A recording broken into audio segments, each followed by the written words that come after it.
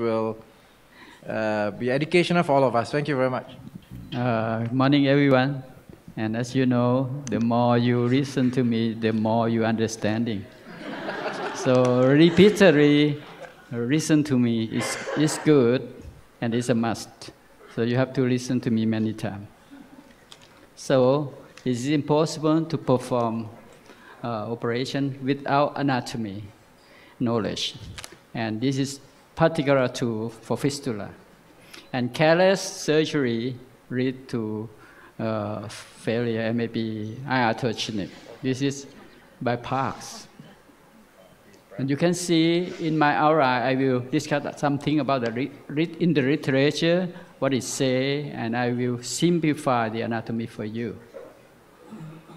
Anatomy in this area is like a blind man and the elephant. Someone says something, someone, the other other says another thing. And we cannot have the conclusion because we never have a consensus. You see, there are so many authors, big name or a big name, still big name. And you can see their anatomy, drawing is different. They are different all the time. Uh, in the middle is traffic. Once very popular. In every text textbook have this picture.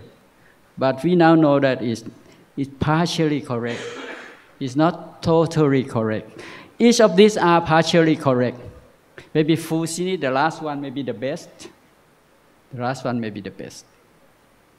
And if, if we look closely to the Park's anatomy in his 1961. Uh, at the time he proposed, before he proposed the classification, you can see that his understanding of anatomy is not correct at all. He's not correct. So we go further. In my uh, lecture, I will simplify many things for you. Uh, let's say this picture. Do you have a pointer? Uh, this picture, I see circular muscle come down to be internal sphincter. Circular muscle and longitudinal where it is. The longitudinal of the rectum come down in the longitudinal of the anus. It never disappear. And you can see the fascia here, come here. So longitudinal muscle still longitudinal. It's never to become a conjoint. A conjoint is a misconcept. But no one says so. I said it. Okay? Okay, thank you, thank you. Then we go to the next one. For striated muscle, is to simplify into three levels. I think I tried to put this concept to you many times that are T level or muscle to better understanding. Okay, thank you for my fellows.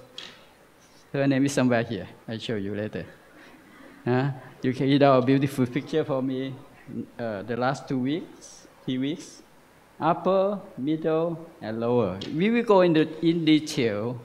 The upper, yesterday I already explained that it comes from the pubis near the symphysis attached to the coccyx, distal coccyx, and uh, some uh, uh, sarcum.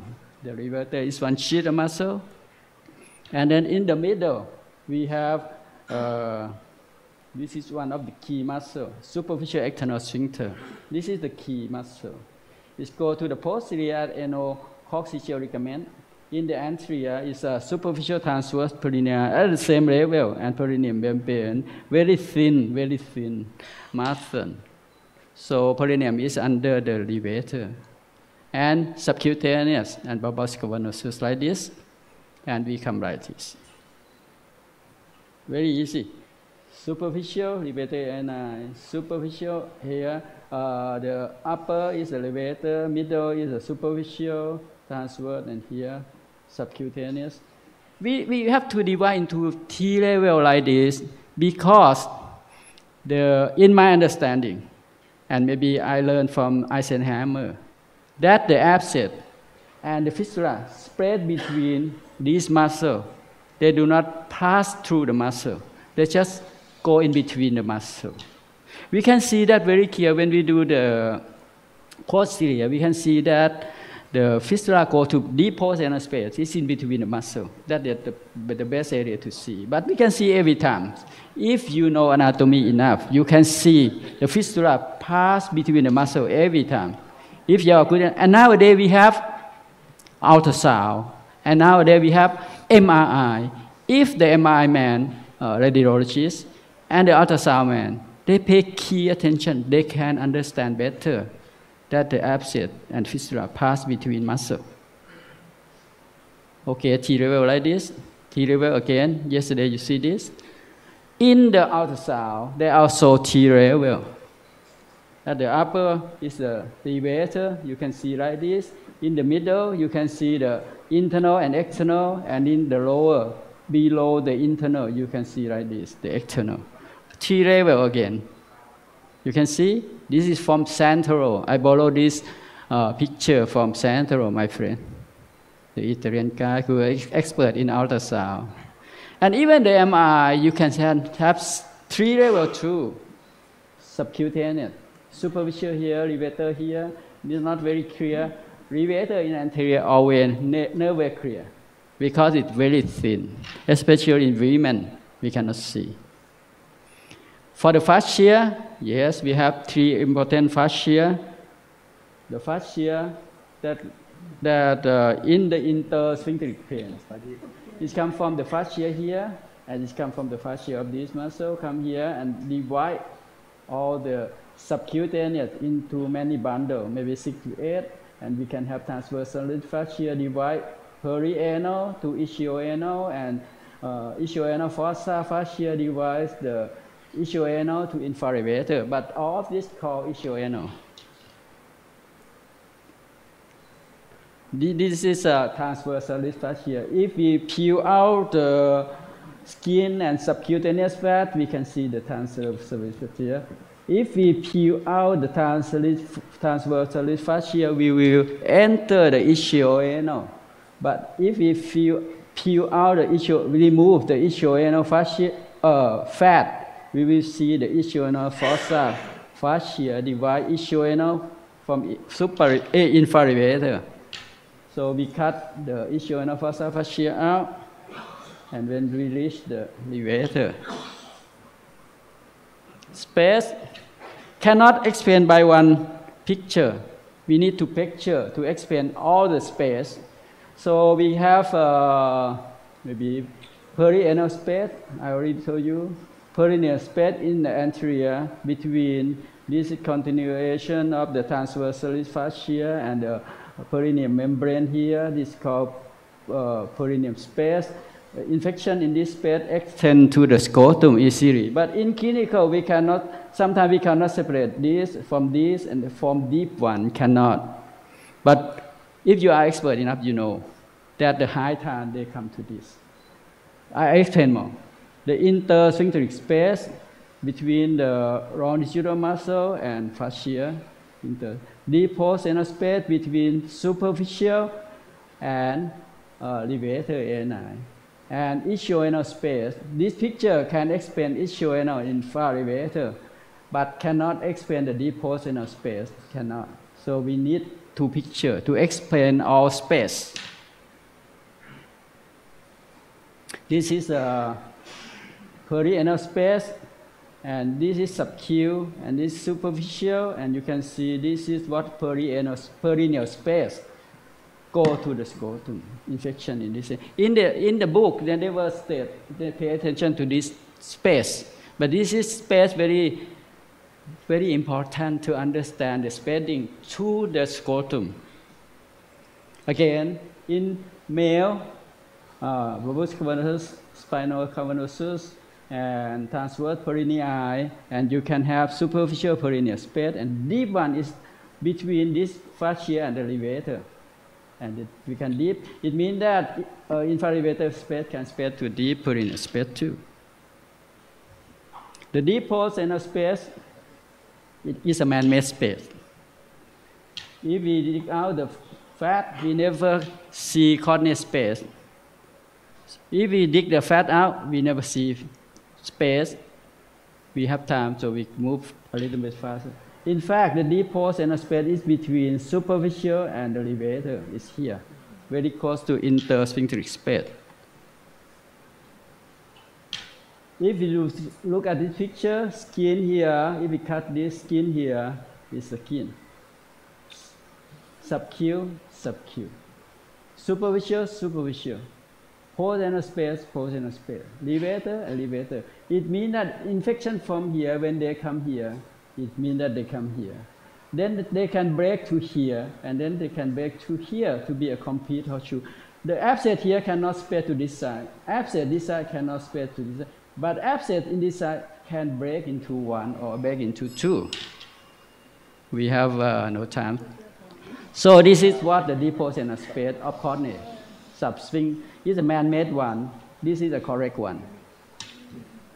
So we need revision. We go to the natural one. This is the natural one. We have the abscess here, abscess here, abscess here, perianal intersphincteric perineal space abscess in the anterior, deposenus in the posterior, ischioanal infralevator. We have abscess in this space. When the abscess break out, find the way out, we can have low intersphincteric. We can have low transsphincteric pass through the subcutaneous. And we can have anterior high trans pass above the superficial.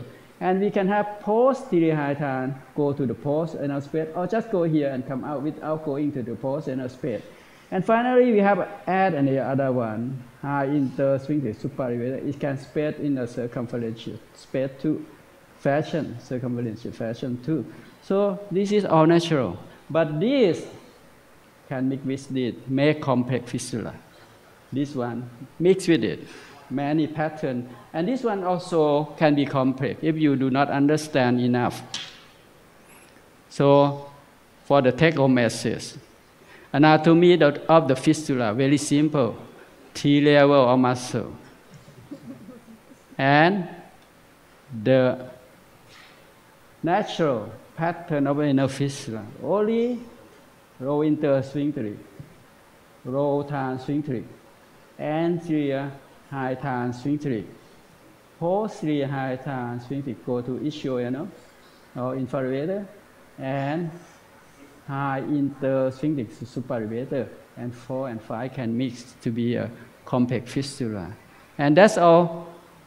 Very simple. This, this and maybe complex. If you want to understand complex fistula, maybe next time we, I can show you the mixed variation. Okay, thank you. Uh, thank you very much. Now, because of what Doc, uh, Professor Arun said, we won't take any questions from audience, but we ask Dr. Arun to pick up audience and see whether they listen to you or not. You, can, you want to ask the audience question? See whether they understand you?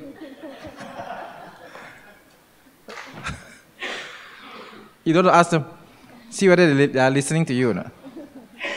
Uh, uh, Dr. Varut, you understand what you say? Are you listening? Can you ask him a question, see whether he understand you?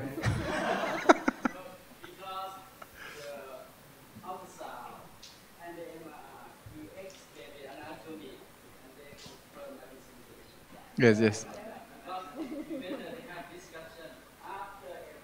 Okay. No, no, I'm saying that they should ask you questions. You should ask them questions to see whether they are listening to you. okay, thank you very much. We'll go to. Uh, may I call upon the next speaker, uh, Prof. Charles Tsang from Singapore. He's going to talk about the pattern of fistula from AUS. Prof. Tsang, please.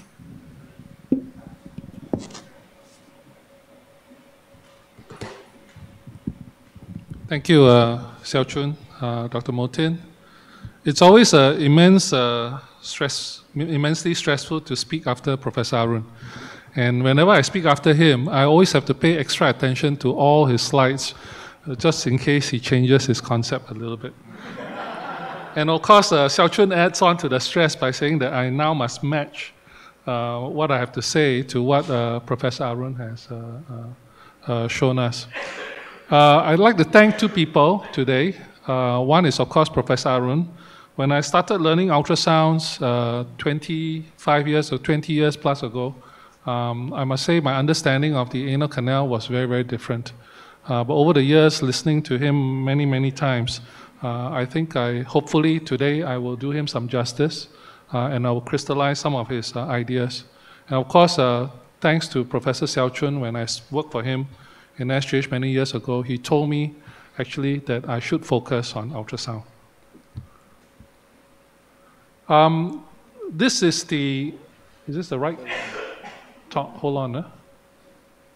I think this is the wrong uh, slide, wrong presentation.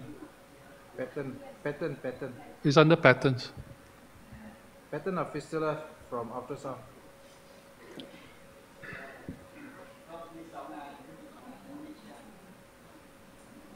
Sorry for the hiccup.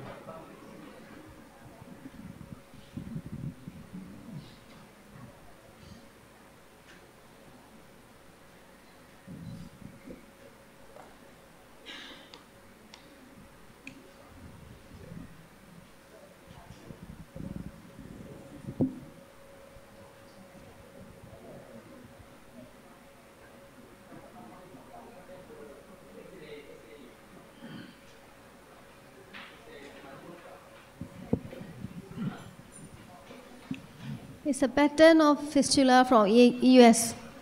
Yeah, this, uh, this, this one is the second lecture. Second lecture. The first lecture, uh, the, other, the other lecture, you got two lectures there, and Charles will put. Yeah, two lectures. So the other lecture by Charles will be correct. Yeah? Oh, yeah, or maybe the MRI go first. Is the radiologist here? Uh, Okay, ready? Okay, okay. Okay, thank you very much.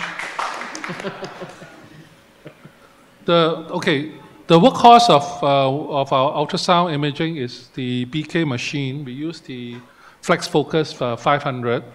Um, when I started doing ultrasounds, this was the main probe that we used. This is actually a uh, axial transducer. Uh, it gives you an image in a 360 degree, and then there's a puller that pulls back the transducer crystal, and then they capture all the images, about 200 over slices, and it'll reconstruct into a 3D image. Uh, nowadays, it's a little bit better. We have a linear array probe. This is a newer probe, uh, where you can scan actually in the longitudinal plane.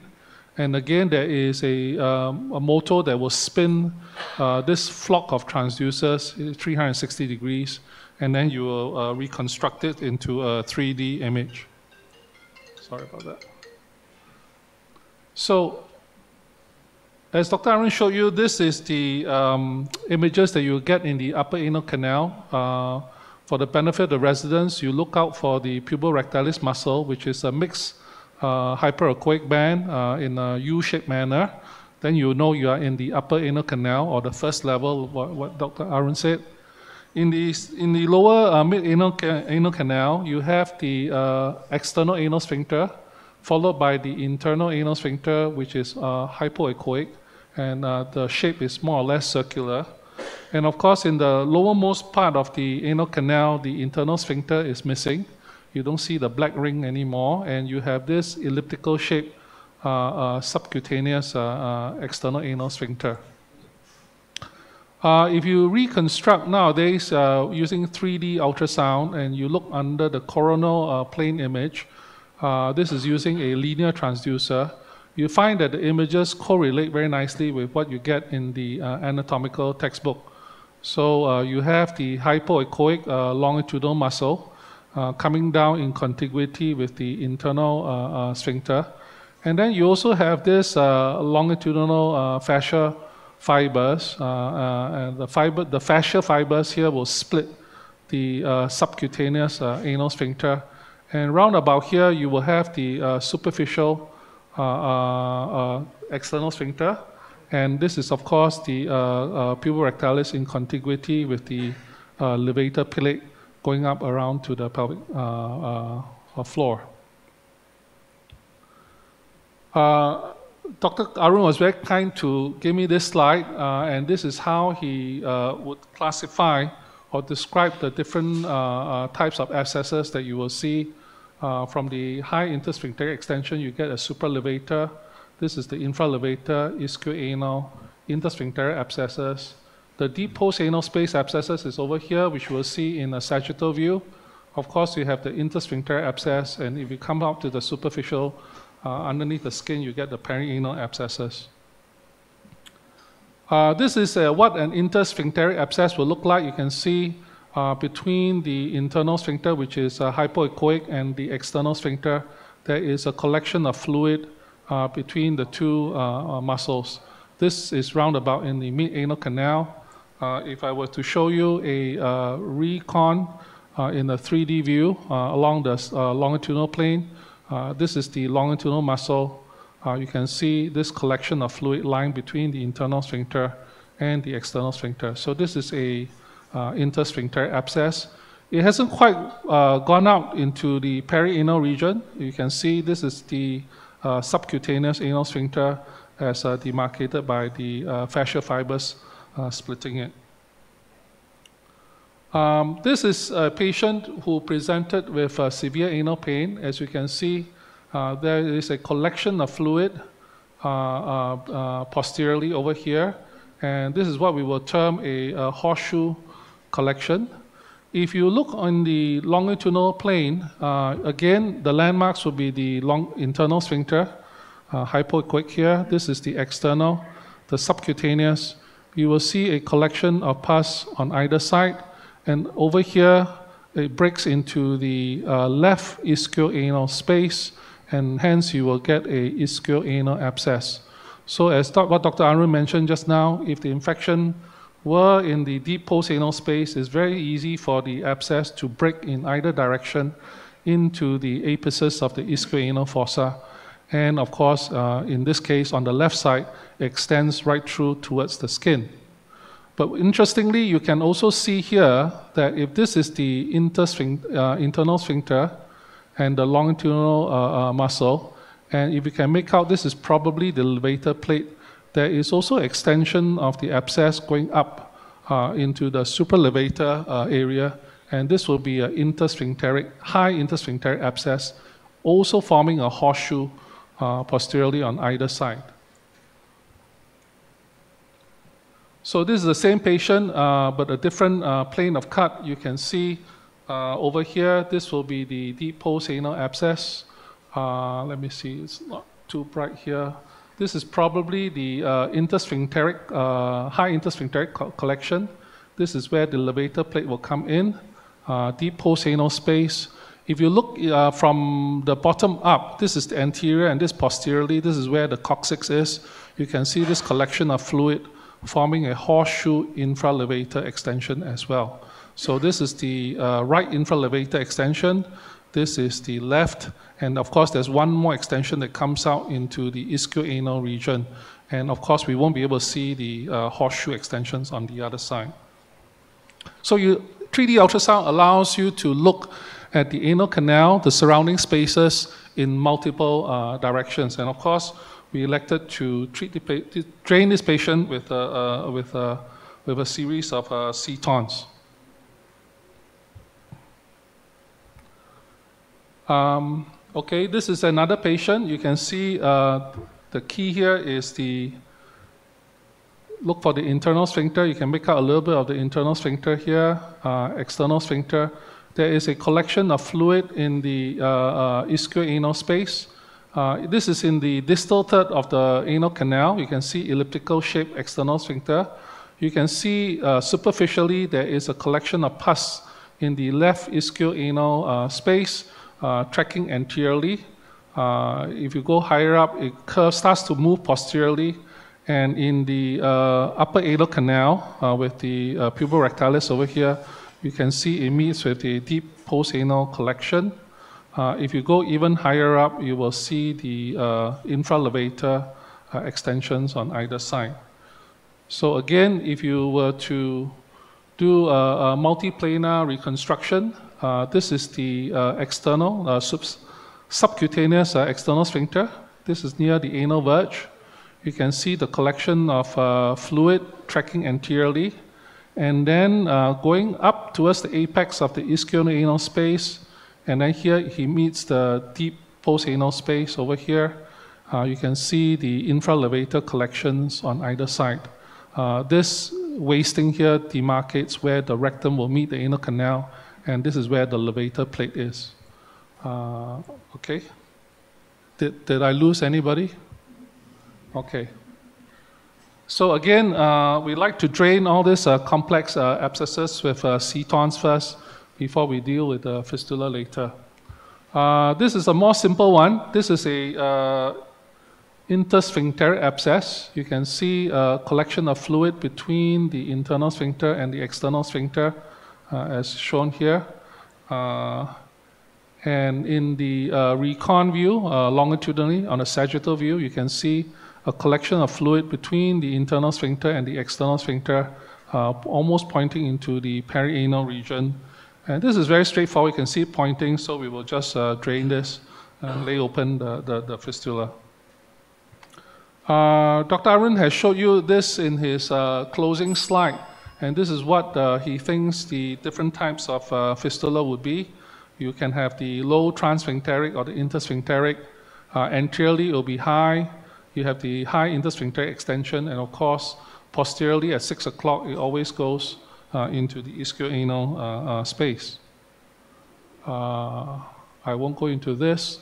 Uh, okay, so this is a anterior transsphincteric anal fistula.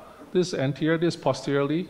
Uh, here we have highlighted the external opening uh, or the fistula tract with hydrogen peroxide. Uh, and you can see the uh, peroxide in the mid-anal canal uh, traversing the uh, internal the external sphincter, breaching the internal sphincter over here into the subepithelial space.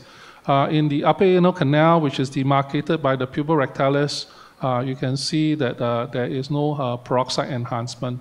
Uh, this is a colorful slide because we decided to uh, uh, do a Doppler study as well. Uh, so as you can see uh, in the patient in the prone jackknife position, this is the external opening. You can see the intersphincteric portion of the fistula tract over here, and we normally will deal with it with the lift technique.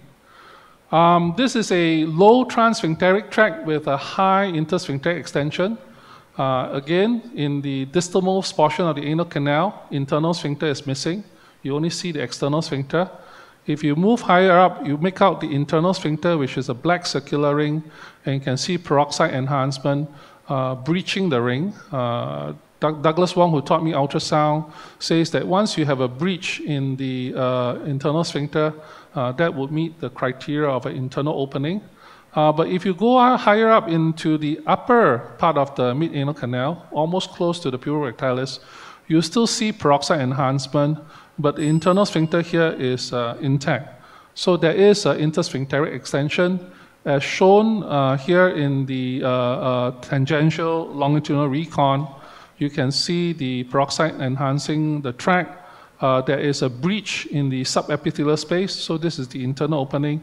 But the tract also goes further up, and this is the high intersphincteric uh, extension. Uh, again, uh, we use the lift technique to deal with this. Uh, this is an anterior transsphincteric tract uh, with a perineal extension. Uh, you can see um, over here, this is the distal anal canal, the, the, starting to make out the internal sphincter a little bit, but not very clear. This is the upper anal canal. Um, because it extends in the perineum close to the scrotum, this is beyond the range of our usual 2052 or 8838 probe. So here we have to use a surface probe. We can see uh, there is a collection of fluid uh, in the perineum near the scrotum.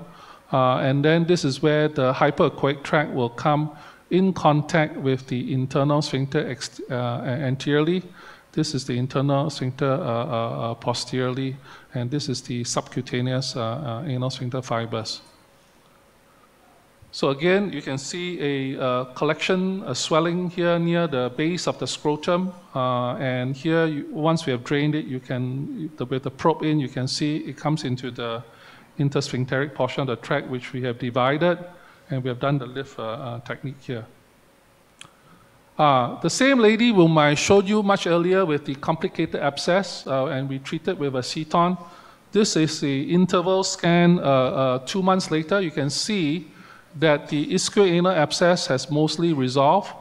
So has the high intersphincteric horseshoe collections over here. Uh, what you are left with is a little bit of a shadow posteriorly in the upper anal canal, just as it extends into the apex of the left uh, ischioanal fossa. So most of the abscess has been adequately drained uh, and uh, sepsis uh, well controlled. So what you're left with is dealing with the fistula. Again, we inject hydrogen peroxide through the external openings. You can see uh, peroxide enhancement within the tract. Uh, all this is scar tissue. Uh, the intersphincteric collection has resolved. you can see peroxide enhancing from ischioanal to the posterior, posteriorly to the deep postanal space. And this is the posterior seton. This is the ischioanal seton. A little bit of the uh, uh, infralevator uh, uh, tract over here. So uh, we treated this with a endorectal advancement flap, uh, which we then closed the internal opening. This is what a low intersphincteric fistula will look like. You can see in the past with the older 2052 probe, you don't get the resolution, but here you can see the peroxide enhancement very nicely going in between the internal as well as the external anal sphincter here. So this is the intersphincteric fistula. Uh, just to close with my last slide, this is the uh, old description of the suprasphincteric fistula. And I can understand why uh, uh Parks would call this a suprasphincteric fistula. Uh, if you were to cut a 3D image of the anal canal tangentially, and this vertical line here demarks the 6 o'clock position, you can see that the infection usually will start posteriorly at 6 o'clock. It goes up in the intersphincteric space, and then after that, it cuts into the ischioanal space, coming down like this. So this U-shaped high takeoff point would look as though it is a suprasphincteric fistula in a two-dimensional view, but in fact, it's actually a high transsphincteric with everything below the levator plate. So in summary, endoanal ultrasound allows for accurate preoperative uh, imaging of the abscesses and fistula. Uh, we found that it correlates very accurately with operative findings. It allows us to assess the sphincter integrity, especially in patients who have multiple surgeries. We always use hydrogen peroxide. When we do the lift uh, uh, procedure as a lift practitioner, I find that it's essential to help us locate the intersphincteric portion of the tract and helps us site the incision. The patterns that we have elicited on ultrasound is consistent with that proposed by Professor Arun. And thank you very much for your attention.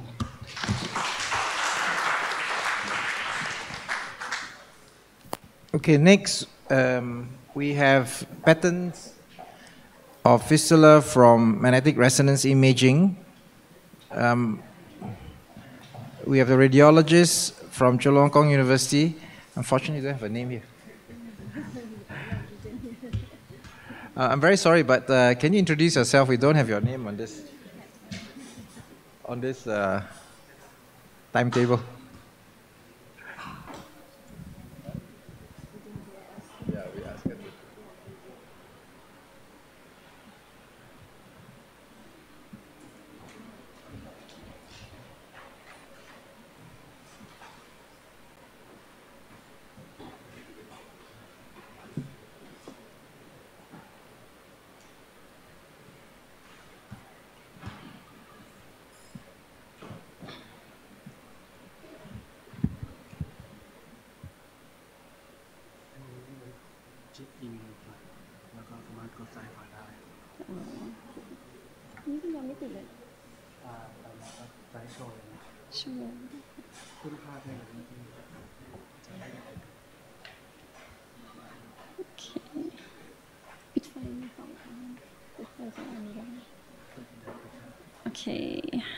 Thank you very much. Uh, nice to see you, everybody. Firstly, I would like to give my special thanks to uh, Professor Arun and Chulalongkorn Colorectal Department for giving me this opportunity to be the part of this program.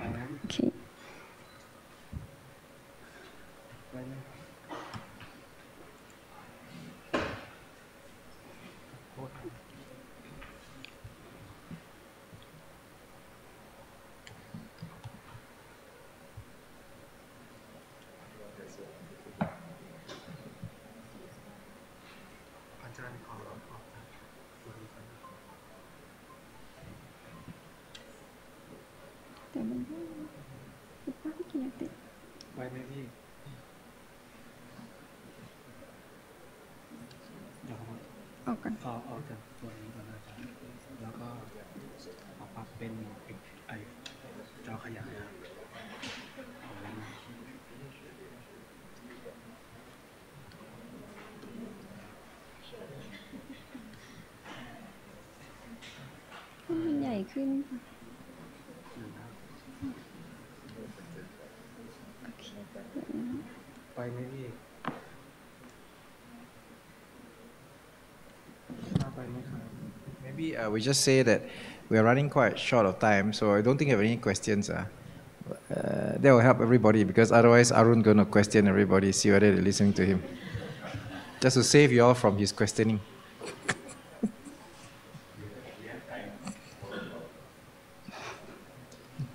Anyway, we, we, we're supposed to end this session at 11.20. It's already now 11.50.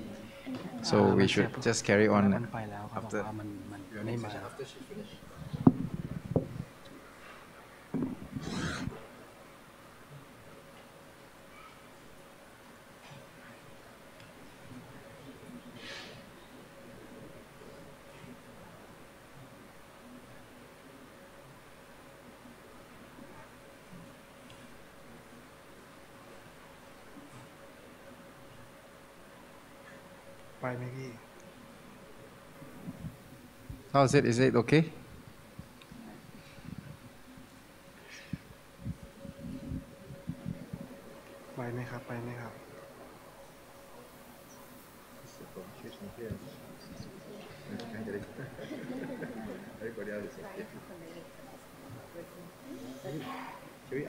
Next people to do first?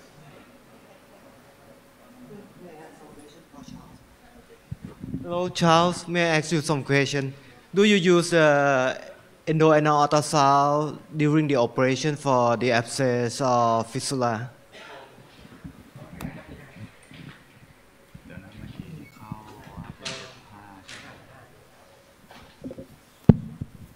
Um, in, in our practice, we have uh, ultrasound machines in all our clinics.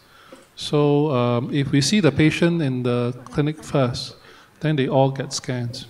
Uh, so by the time we reach the OT, we already know what we are dealing with.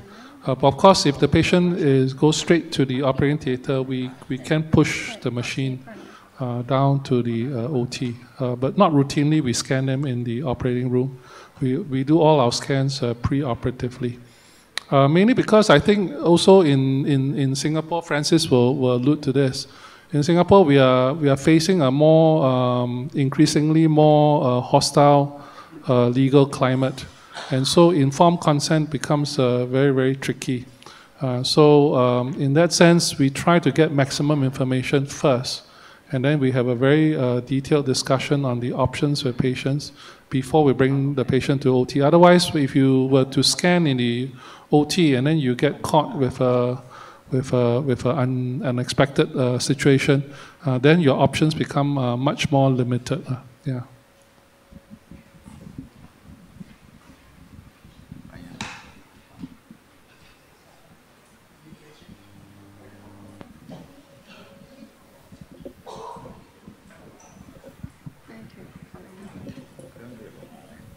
Um, Good morning, Prof. Um, my name is Aini. I'm one of the uh, colorectal fellow current, from Malaysia, who's currently in uh, Chula for the last uh, four months. Um, I just want to ask regarding one of your the, the case that you showed, the lady with the anterior high trans that goes into the perineum. I know you did um, the uh, lift on the perineal side, but how normally you deal with the distal tract, especially for the lady, and uh, do you normally um, have adjunct um, sphincter sphincter um, repair to make sure that patient do not have incontinence. Number one, number two, do you have any problem with the prob- this kind of patients with uh, consequently having recto-vaginal fistula?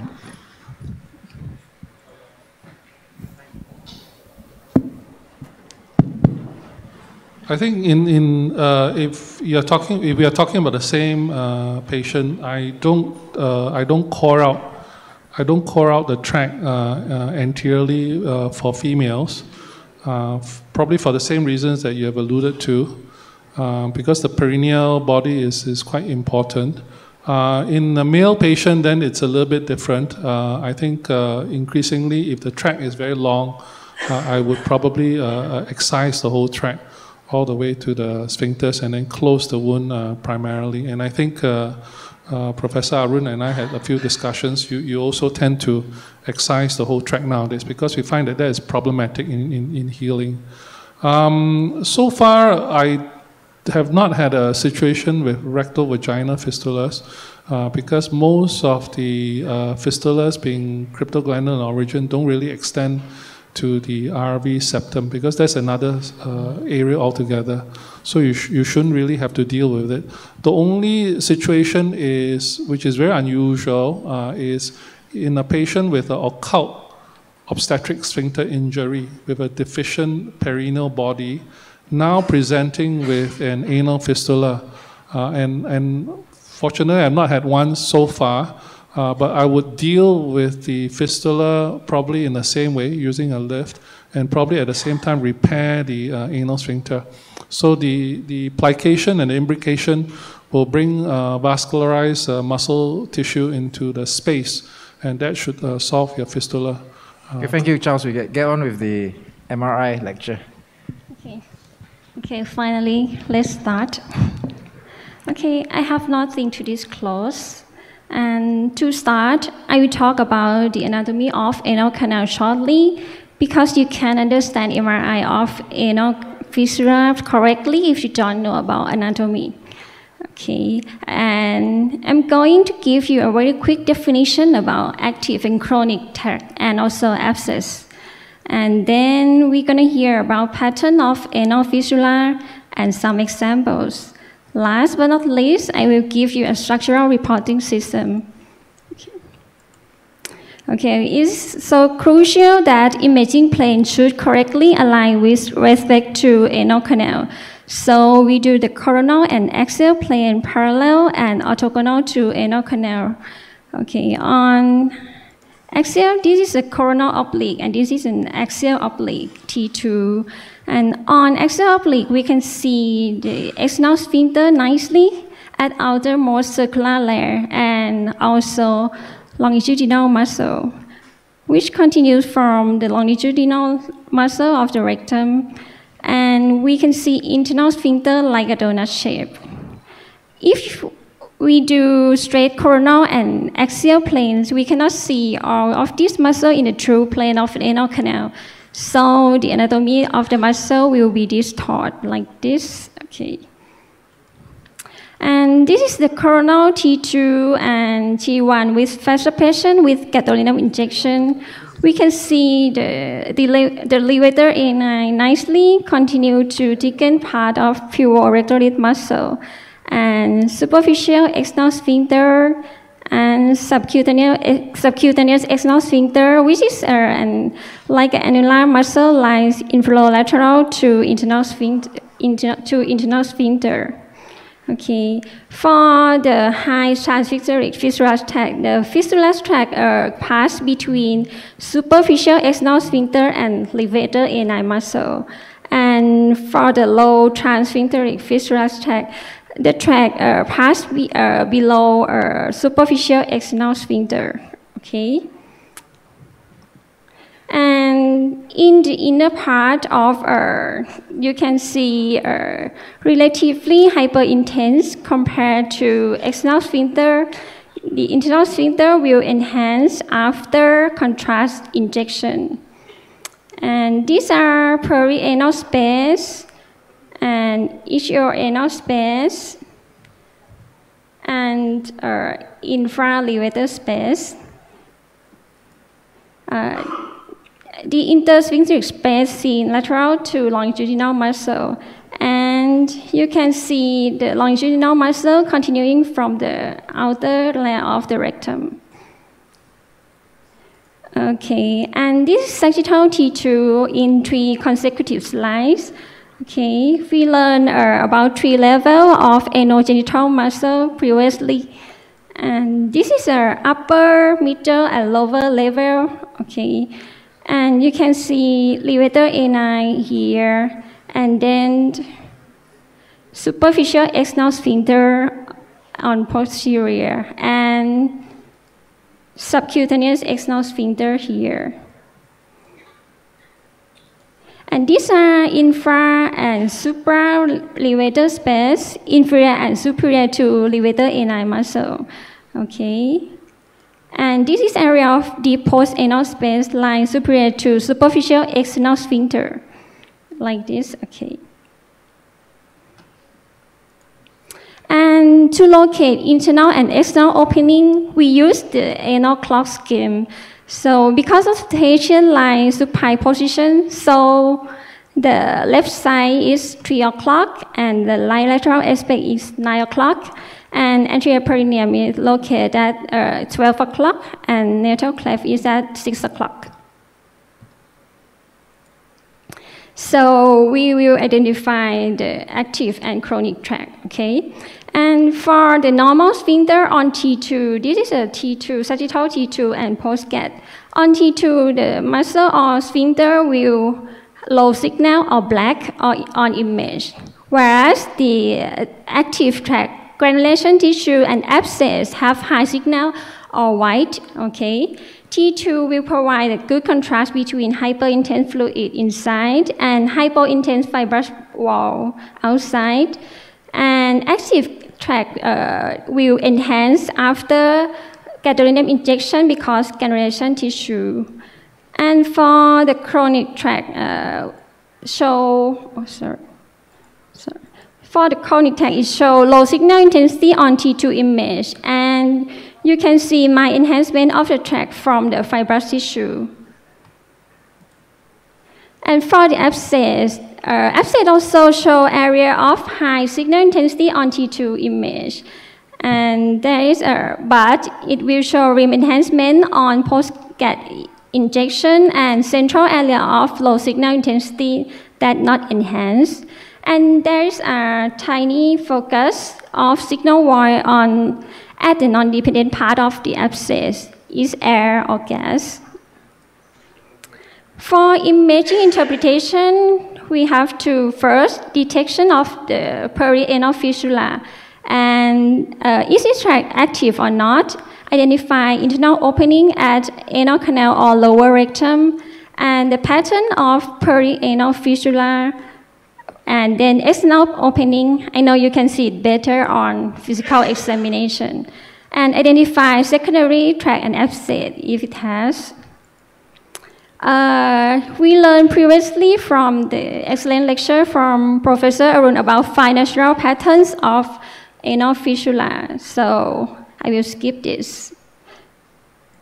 For the recording system uh, that generates by Professor Arun, we will start with our internal opening from anal clock position, and then which is the type of fistula when it passes intersphincteric, intersphincteric space, is it an abscess, cavity, or tract?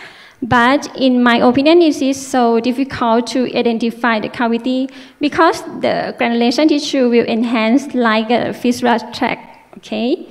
So I will only identify abscess and tract. And we will classify the level of fistula in the intersphincteric or low or high transsphincteric.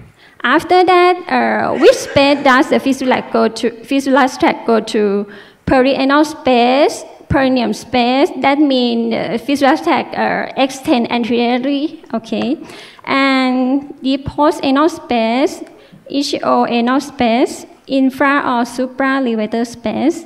And for the end, we will identify the, the external opening. If it doesn't have external opening, I will, we will call it blind tract. And if it extends to uh, anal canal, open to anal canal or low rectum, again, we will call secondary internal opening. And for the last column, we will measure the tract length from internal to external opening. And okay, let's start with the first case. A 53 years old male with a FIA for evaluation. This is coronal T2 fat suppression image. Okay, there is an internal opening at uh, six o'clock of anal canal, extending downward into intersphincteric space, and with external opening at uh, 12 o'clock without passing through subcutaneous external sphincter. On sagittal T2, we can see hyperintense track from posterior to anterior direction. Okay, and on axial T2 with fat suppression, we can see the hyperintense track at intersphincter.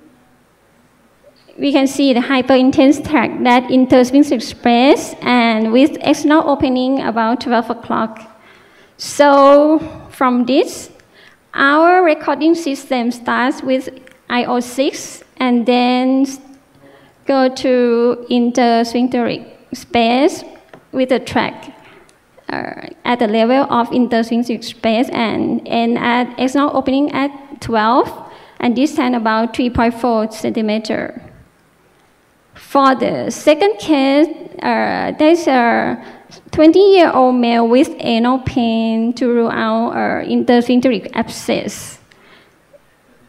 This is a this is sagittal T2 of the patient. This is anterior aspect, and this is the posterior aspect of the patient. There is an internal opening at six o'clock. That is a posterior of anal canal, with a horseshoe abscess in intersphincter space from uh, 12 to 2 o'clock okay, like this, and there is no external opening. After gadolinium injection, you can see nicely for uh, rim enhancement without internal enhancement. From our report, we will start with uh, internal opening at uh, 5 or 6 o'clock, and then it's from the abscess at level of intersphincteric space, okay, without external opening. Okay, for the third case, uh, uh 42-year-old male with a fistula in anal post IND to evaluation, okay. And this is a sagittal T2 of uh, the patient and this post-gadolinium image on sagittal plane. Okay, we can see internal opening at uh, 12 o'clock on anterior aspect. And then the fistulized tract pass intersphincteric space anteriorly and inferiorly and, and then open at, okay, it passed anteriorly inferior to superficial external sphincter and with external opening at about 11 o'clock. Okay, there is two area of dark signal for sign of air from prior IND, so we will not call it like abscess, okay? And we start with IO12, and this is like a cavity or track, okay, because it's like a wide track. And then it passed to anterior low transsphincteric uh, extension and passed to perineal space like a track. Opening at EO11 Okay, I will pass this case, but I want to show, because it's the same, but I want to show the uh, internal, the internal opening at 12 o'clock nicely seen on post-gadolinium image. Okay.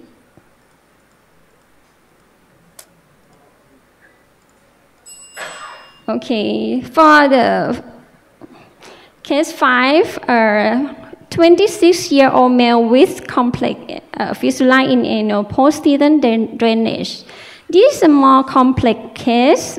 First, okay, it will be complicated, okay. First, on sagittal T2, this is sagittal T2 and post-GAD. This coronal T2 and coronal post-GAD. We start uh, with uh, internal opening at 6 o'clock of anal canal and then goes to intersphincteric space. And this is a post, deep post anal space seen as the cavity or abscess. And then it extends posteriorly to the right buttock with rim enhancement.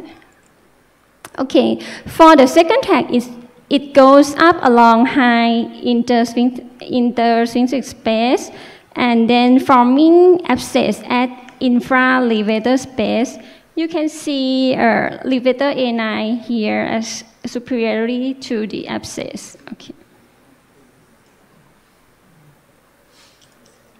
And for the third track, it uh, from originates from six o'clock to, and then extending right ischioanal space in anterior direction with external opening at 12 o'clock.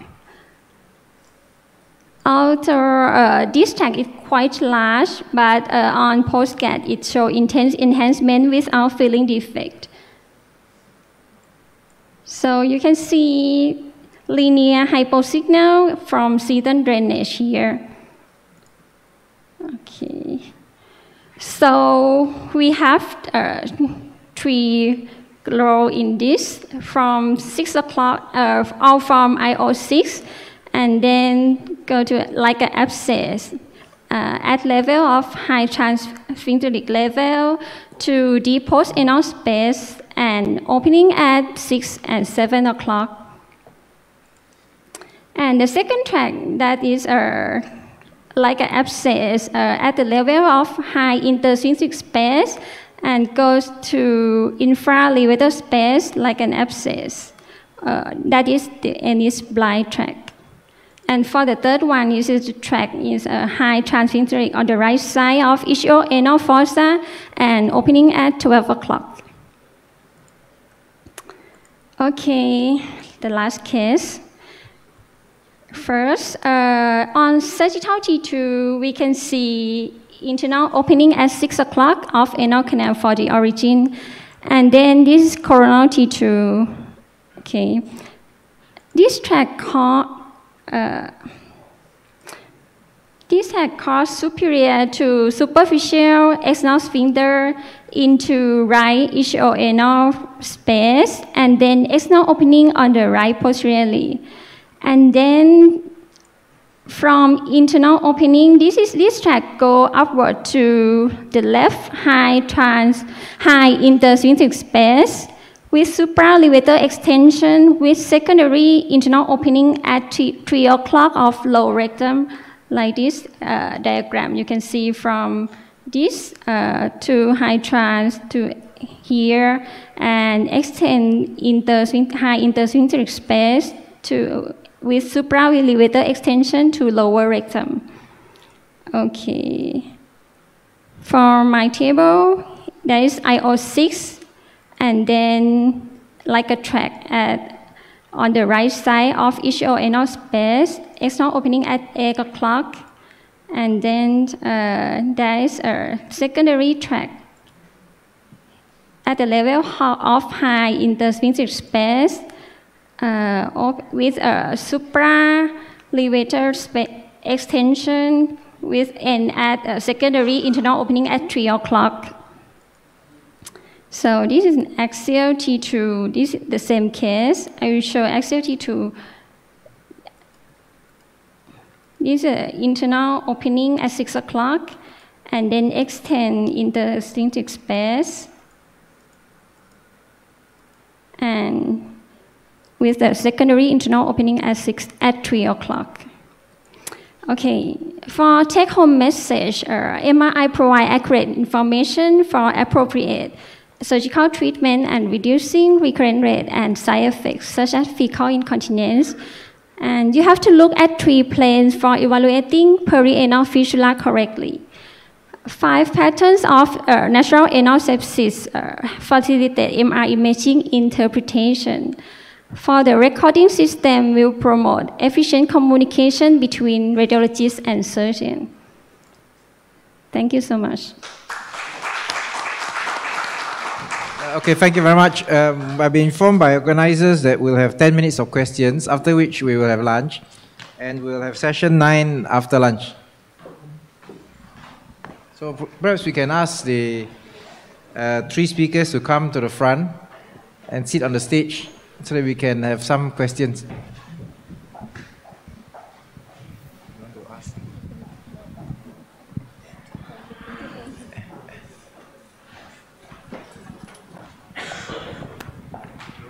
Yes, uh, I would like to ask Prof. Arun, what is the cut point of the cavity and fistula tract? in, in fact, no, no. In, by clinical, we can separate the tract because we put a, probe in and cannot move. And if we put a tract and we can move like in a cavity, that a cavity very, very different. And when during the operation, if we go cut and the abscess come out, that the abscess. But for the imaging study, sometimes they can know only cavity or tract because tract is small, cavity is big. Uh, but we do not have a, a space, maybe two millimeter or three millimeter. I don't know. Maybe which one? Yeah, we, we had a quick discussion before, and uh, uh, on ultrasound, basically, if you have a tract, there's a well-found fibrosis around the, the, the fistula. So the peroxide enhancement is very contained. So it's a very nice tract that you see. In the cavity, there's diffusion. So the peroxide will run all over the place. And then you get a lot of imaging artifacts. Um, so once we see uh, diffusion of peroxide all over in different areas, uh, then it, the tract is not matured. And, and when we do lift procedures, whenever we see that there's a diffusion of peroxide, we know that the fistula tract is not mature enough. Uh, some people will, will, will, hold off and maybe do a seton. I don't know whether Prof. Arun has any comments on that. Actually, there are some papers talk about this. Uh, for the cavity is about three millimeter wide, and for the, for the abscess it's about one centimeter in size.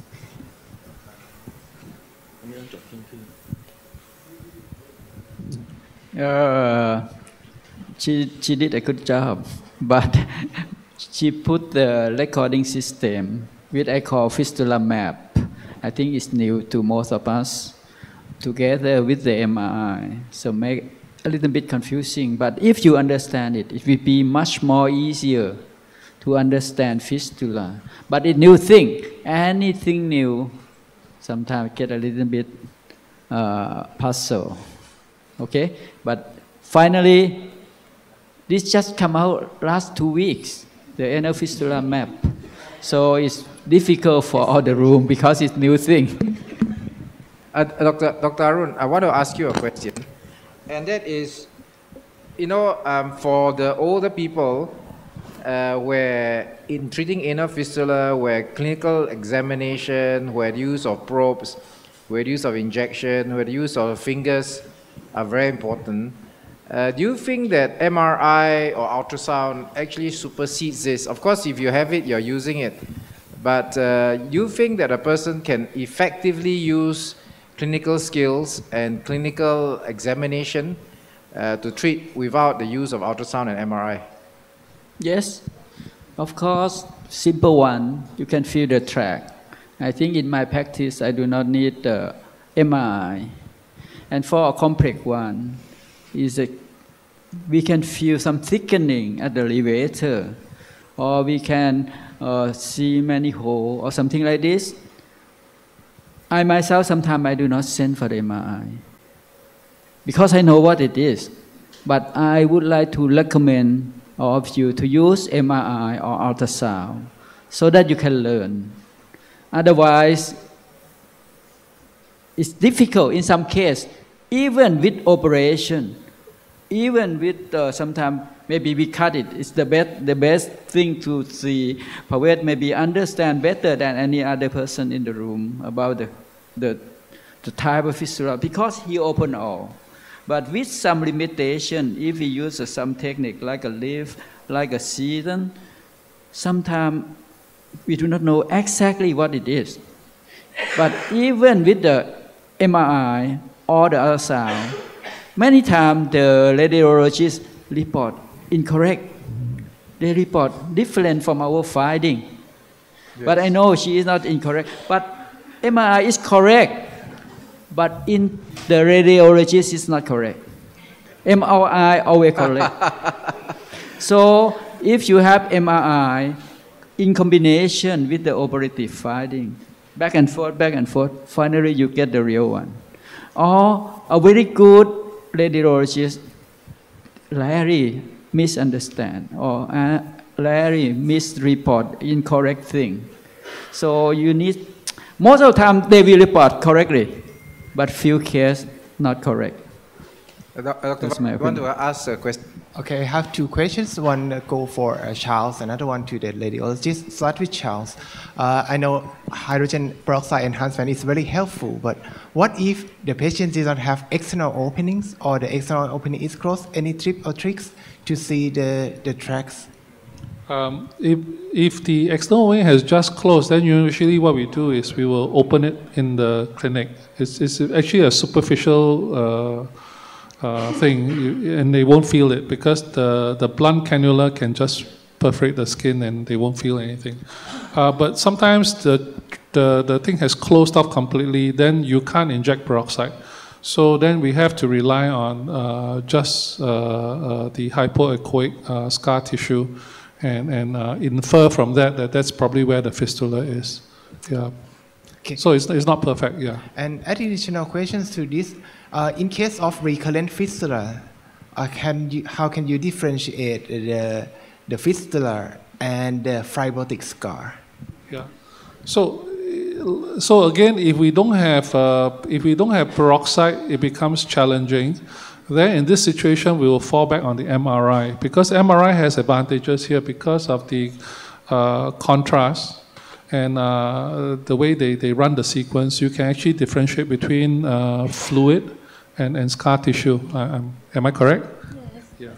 Okay, thank you. So it's good because I will continue with the questions. That is there any limitations for MRI? Uh, so far, we think the MRI is the gold standard of the preoperative imaging. Is there any limitations for MRI?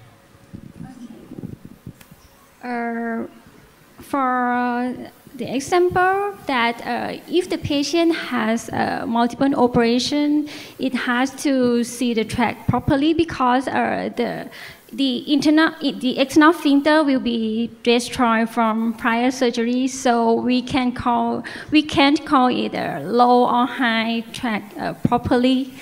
And the second is about the, the abscess cavity and some track differentiation, like I said before. Uh, I would just like to comment here what uh, you asked Francis whether it's necessary to do MRI or this in every case. The answer is no, it's not necessary. If you're doing a conserv- conservative surgery like the lift, you really don't know, you want to know beforehand what are the tracks or abscesses which are there associated because not everything can be palpated from outside. In which case you would need. I do a fistulectomy, so there everything is open. I can see under vision what I'm doing. So really, I in my hands, I don't need it. So it also depends on what procedure you're going to do, and because even after saying eh, if you're doing a lift, you want to see three months later on whether it's healed or not, because externally really sometimes cannot make out what's happening inside. Then you may need a follow-up MRI to see what's happening inside. So that would be the indication. And uh, to answer Varut's question about the limitations of MRI, one indication, one limitation is if the tract is going uh, intersphincteric high supralevator to the preperitoneal space, then the MRI would not suffice and you would need an additional CT scan for the abdomen to see uh, the spread into the anterior abdominal wall. The other question I want to just ask here very quickly, we have one minute and a half to go, uh, is because Charles talking about seton uh, prior to um, lift procedure.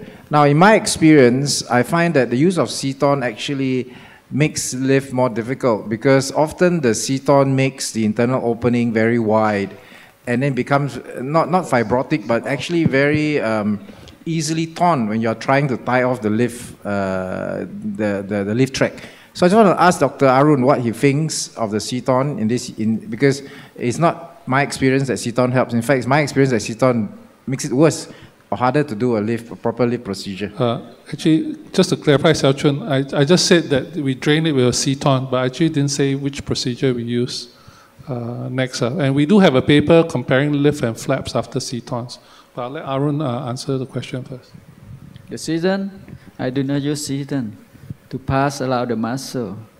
But I believe, I believe that a good seton may help in some special case.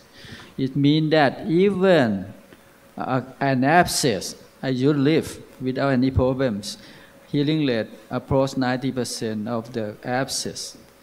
It's a little bit better than the fistula because the cavity collapse much better than the fistula. So, but be careful for the seton. I have seen many, many seton come from others. They use seton even for very low fistula. And they use seton when the fistula is a little bit high, always in the long position. The internal is there, but they put the seton far away from the real primary opening. They make a secondary opening most of the time. I have many fistula come from Europe. Every patient have seton. Every patient from Europe have seton. But I think 50, 60% of cases is wrong seton that come to me. Those patients that come to me, it's wrong pace. But I think it's overused first. Second, is is practiced by by who is not expert in the fistula. But the seton, a good seton for some special case is help. I, I think it help. I think in the US and Europe, the first surgery always is examination and anesthesia with seton placement. That is how I think most, that's what I've seen, patients who come from the US and Europe. First surgery is always whether it's an abscess or whether it's actually a fistula also, they will still pass a seton first, examination anesthesia. And I fail to understand what, what additional information would they get to examination and anesthesia. You have an MRI, you have 3D ultrasound, you have a clinical examination. So I didn't, I didn't understand why, what additional information you would do. I'll tell you what it is. It is called delay procedure. Yeah, delayed procedure. So now we don't delay anymore because lunch is here. So we shall go for lunch and we will postpone. One question. I want to ask West because he have more experience than all of us here. Uh, I already told the floor that the seton from Europe always not a good seton. It's all, uh, maybe 50% is wrong place. In your experience, the seton from Europe, uh, in your in your in your finding, in your experience, uh, would you please tell me the quality of the seton from Europe? in your in your experience? no, no, no. I mean.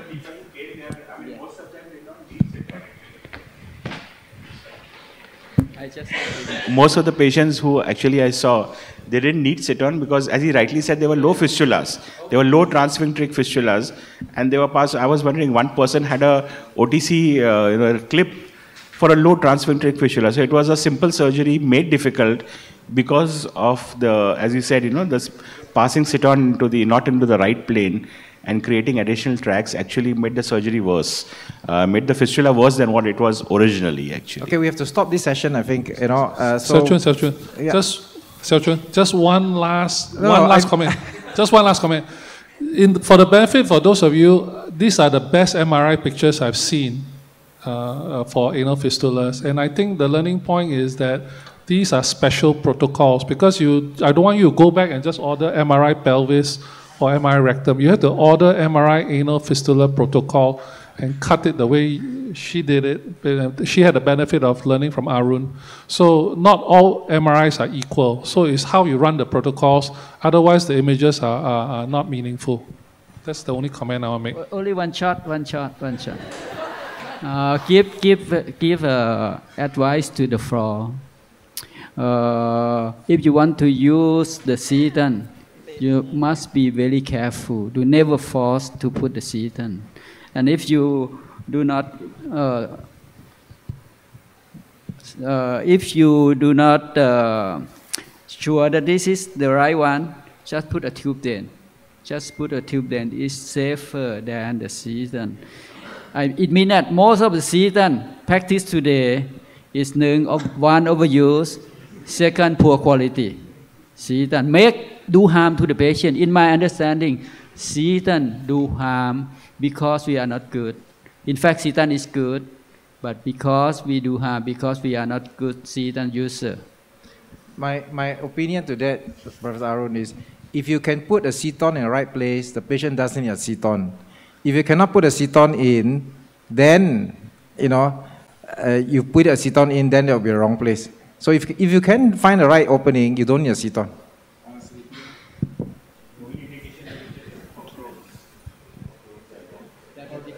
Okay, anyway, we have, we have to stop here because otherwise, well, let's thank the speakers in the usual manner. thank you very much, our moderators and our speakers. And it's time for lunch, and lunch will be served at the same canteen that you have eaten. And um, please be back at the